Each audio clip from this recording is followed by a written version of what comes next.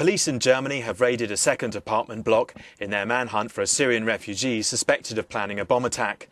They arrested one person during the raid in the eastern town of Chemnitz without firing a shot. The suspect, 22-year-old Jaber al-Bakr, is still on the run, having narrowly evaded capture by the police on Saturday. The person that we've been searching for since yesterday, also by appealing to the public, has unfortunately slipped through the net. The search continues without let-up. In the meantime, we have received more than 80 tip-offs from phone calls and through the internet.